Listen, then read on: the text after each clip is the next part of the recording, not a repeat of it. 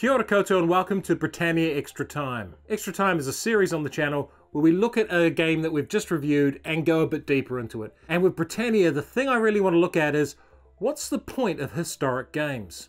Like, literally, what is the damn point of them? Why do we keep playing historic board games? What are they good for? What do we expect from a historic board game? And what could they possibly do better? And I want to dig into that using Britannia as a case study for what it does well and what it doesn't do well. And I've got some pretty strong feelings on the latter that we'll get to later in the video. But what does Britannia do well? So what Britannia does really well is constructs a game around dates and events. If you want to learn the timeline of the conquests of Britain, Britannia would be a reasonably good source, as all the dates are included and the different countries and leaders that were involved at those dates. And this handy dandy page, which is part of the Player's Aid, tells you exactly when everything happened. It's a simple one-page chronology that you can learn as you play through the game. The more you play it, the more familiar you'll get with the timeline of the events that happened in the invasions of Britain. So if the point of a historic board game is to teach you dates and times and names, then this is arguably a great success. It's a good mnemonic to remember these things. The other thing Britannia does reasonably well is the gameplay itself. The act of moving dudes around the map and fighting battles and having invaders turn up, it's genuinely engaging, at least the first time you play it. Perhaps it's the kind of game you might dig into and play lots and lots and lots if that's your thing. For me it was, you know, okay in that regard. It's okay as a game. But then I got thinking about what history actually is. History isn't just dates and times and events that happened. It's reasons, it's people, it's causes, it's stories. And here's where Britannia starts to fall down for me. I have a list of things that happened, but I don't know why. So looking back at our timeline again, it's a lot of dates and times, but there's not the rationale or reasons behind it. So we look at this timeline and we see there are Caledonians using boats in 250 to 430 AD. Why? The game never tells me why. The Caledonians are boat capable in those two turns, but never capable of using boats again, or before. And for example, in 250 AD, the Irish start raiding. We, we never find out in the game why they start raiding, what's the drivers behind them crossing the Irish Sea to attack England and raid. We, we don't discover that through the game. We're assumed to either already know it or want to go pick up a book and read about it, because we sure as hell won't find out about it in the context of the game itself. So perhaps it's a little harsh to expect the board game to teach you a lot about history. I mean, that might be beyond the scale of most board games. Am I being a little harsh here? Am I expecting too much of a historic board game to teach me the whys and the reasons behind conflict rather than just demonstrate the conflicts themselves? Am I demanding too much of this genre? I personally don't think so because I've played games that can teach you about the sources of a conflict without just relying on dates, times, and events. And the reason for that is there's games that do that already. There's some games on my shelf that will absolutely teach you about certain conflicts without forcing the dates and times down your throat. They'll give you context. These ones here. Oh. These ones here. Churchill. The Coin series. Paths of Glory and Twilight Struggle. Yeah, they're all by the same publisher. This isn't an ad for them or anything. It's just me saying these guys have kind of got the idea of how to do historic games and give you that extra context. So let's have a look at A Distant Plain, a game about the Afghanistan War. This is a pretty meaty topic and something you can't really muck about with. And how the designers and publishers went about this was providing a lot of context for the game. They included this handy dandy playbook. So within this book, there's explanations of why the conflict's taking place, what each of the players' roles are, and how they got into that position. Each card within the game also has a background section telling you what the card means and why it's been included. There's very little that happens in a distant plain that isn't explained in the background materials. It has something that we call ludo-narrative consistency. That is that the mechanics of the game make sense because they fit with the story of the game or the context of the game. But again, it's not like Britannia does that badly, so why am I picking on this game? The mechanics of Britannia all make sense.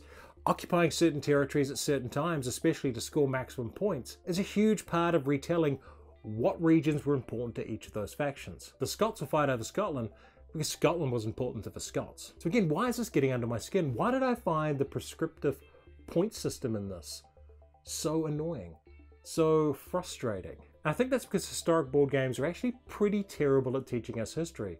What they are good for is allowing us to explore history. And there's a fundamental difference between those two. Civilization as a historic game is absolute nonsense, both the board game and the computer game. It doesn't actually teach us a lot about actual history. What it does is allows us to explore history, to create what if scenarios, and to use what happened as a canvas on which we can tell our own stories. Britannia's not so good at doing that. And I think that's fundamentally why I prefer a game like a Twilight Struggle or a Paths of Glory to something like Britannia. The events are there, the context is there, and all the history is there, but I get to tell my own version of the Cold War or my own version of the First World War. And weirdly, by actually recreating the events in a different way, you understand them better. To use Twilight Struggle as an example, the US doesn't cause a coup very early in the Cold War in Iran because that's what happened. The US causes a coup in Iran very early in the Cold War because it's a really smart play if you want to keep your influence in the Middle East. And weirdly, that makes the choice of doing something as it happened in history make more sense than just being told that it's happening because that's when it happened. So I'm not sure Britannia has many of those teaching moments. The point system is so restrictive that it feels like instead of painting a tapestry of history, you're doing colouring by numbers. And sure, the final map you have at the end of the game and the points totals will be different, but fundamentally the same things happened. And for me, history isn't about timelines. It's about reasons. It's about understanding why people made the decisions they did when they made them, not just when they made them. And that finally brings me to the point I kind of want to make, which is that a historic game needs to be historic, but it also needs to be a game. There needs to be some freedom. There needs to be something to explore, something to discover, and something different. The history needs to be portrayed appropriately and fairly. But if you're just doing the same history over and over again, there's no game as such. It's just a rote exercise, an activity to recreate history.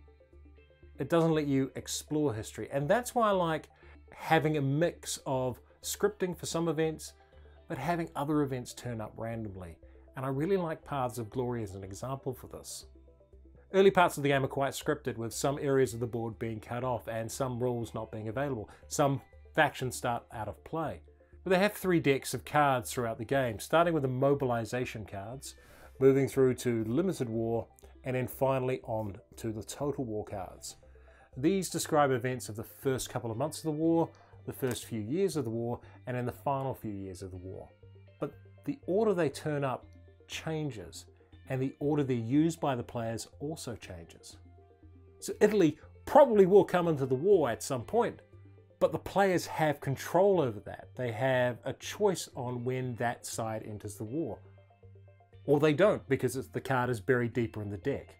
There's strategies and there's decisions you can make to put yourself in the heads of the people who are making those decisions. Again, Paths of Glory is brutally good for that. You end up having to attack on the Western Front. We know through history that that was a horrific, awful exercise in futility, but it makes sense in the game. You need to inflict casualties on the Germans because otherwise they will just keep pushing on the Russian front. And if they keep pushing on the Russian front, the Russians will collapse and that's pretty much game over at that point if you haven't brought the Americans in. The game uses its mechanisms to guide you to make similar decisions, but not the exact same decisions at the exact same time. You still have to fight the Germans in the Western Front, but you don't have to do it exactly the date that the Somme started. And of course, my earlier comment about civilization was quite facetious. This isn't a historic game. This is a Euro game with a historic theme they're two very different things. One's just a game that you can explore bits of history or ideas of history, but they're not historic games. They're not attempting to tell a historic story. They're just using the trappings of history. So I guess we have two extremes here. We have games like Civilization who use history as a theme, but are not necessarily what I would call historic board games. And perhaps there's a problem with treating history like a light theme you can just kind of throw on something and Yeah, let's move some cubes around, learn some technologies, and fight some wars, and yay, that's done.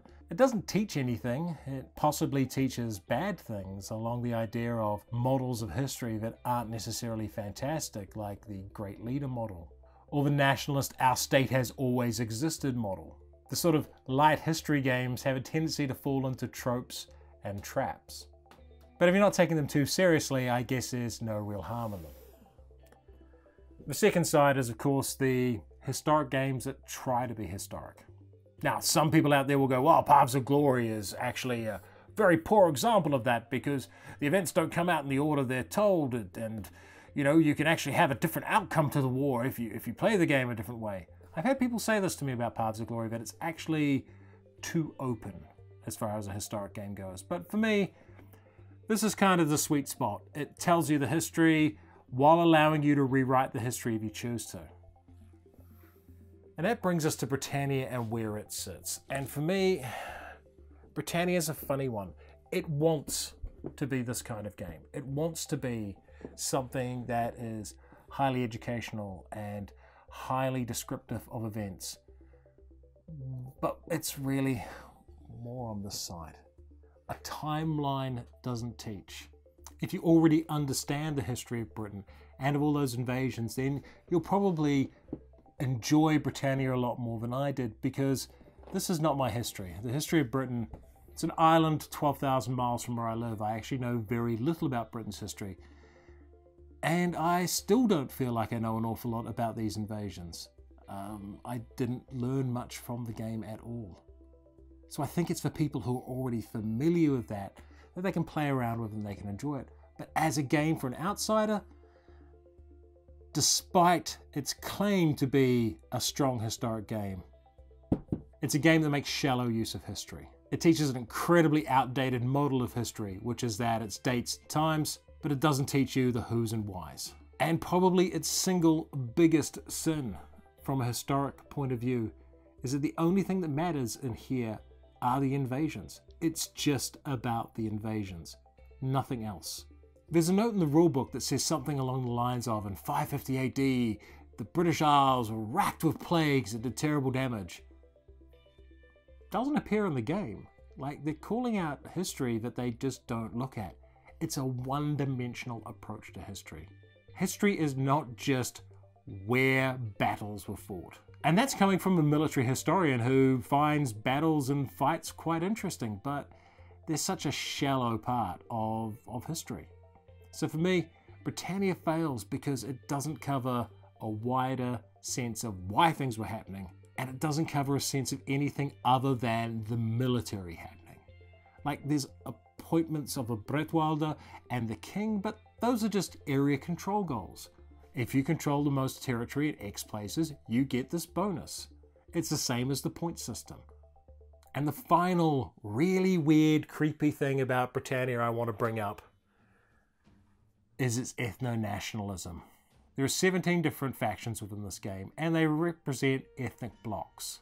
This is a really 19th or early 20th century model of history of mono-ethnic blocks doing things throughout history. It's not really how things ever worked anywhere ever. Portraying history in this model of ethnocentrism, of my race is beating your race, so my race scores more points, is one of those really scary things that historic board games have a tendency to do. If anything, Britannia is bordering on Genocide Simulator United Kingdom version. And of course, you're going to go, wow, it's just a game. It's just a game. Why are you making such serious and dark thoughts about something as simple as a game about a thousand years of invasions? It's not me making the assertion that the game is about different ethnic groups uh, fighting conflicts to drive others from their territory so that they can advantage themselves. That's literally the scoring system and core mechanics of the game. And this is where the danger of making historic games light, silly, and devoid of context is a problem. Because when you start reducing history to simple mechanics, you start making errors. You start teaching bad lessons. Paths of Glory doesn't romanticize the First World War, it shows it for the horror it is. And the mechanics and how it plays gives you a sense of awkwardness and dread when you're attacking and doing stuff in the game. Britannia makes you cheer when you wipe a race out. Now, I guess it's pretty easy to say that that was really harsh, and I probably went over a line and I've gonna upset some people with that. But these are thought pieces. This is just the thoughts I'm having while playing these types of games. With a historic game, what are we trying to teach people? Are we trying to teach people the nuances and complexities of history, or are we trying to teach people that history is just a set of armed conflicts where the winner is the person who has the most stuff.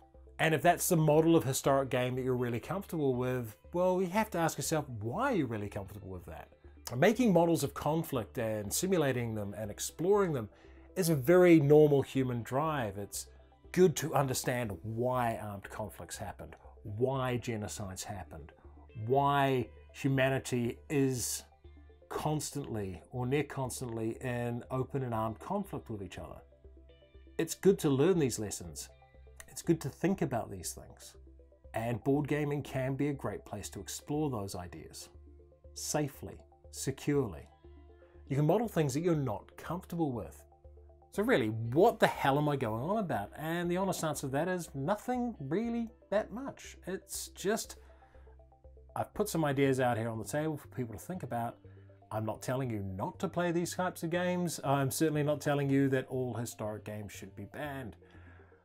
I am saying that perhaps we need to have more mature discussions about them, about what counts as a good game.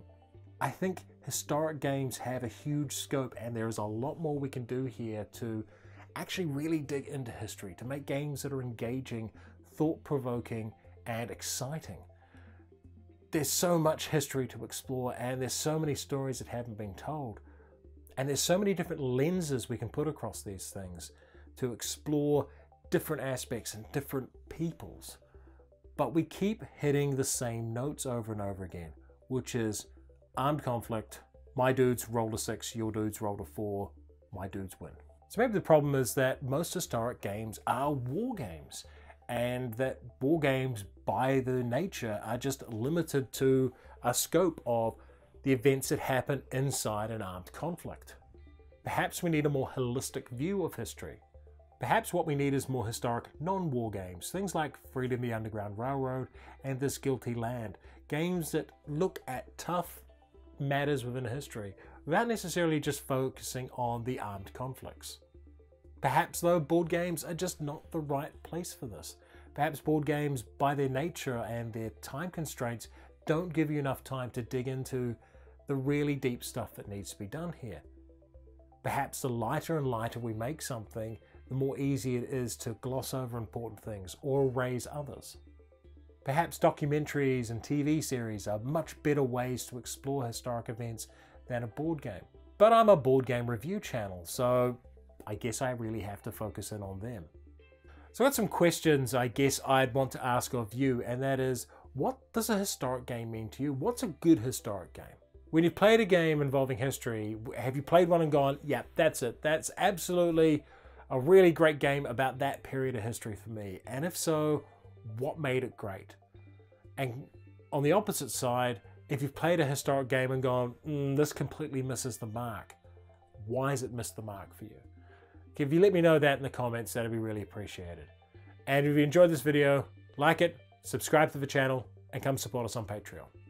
Take care. Stay safe.